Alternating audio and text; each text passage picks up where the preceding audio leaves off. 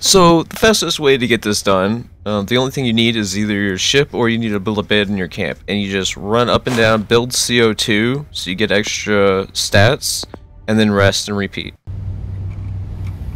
What can I do for you? So for this, you're just gonna sleep to recover. So you're just gonna run up and down here, or you can build uh, a bed in your camp. But I don't have enough resources, so I'm just doing it in my ship.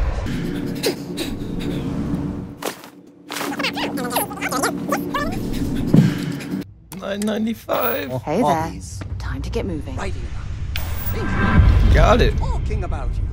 That's three. Right there.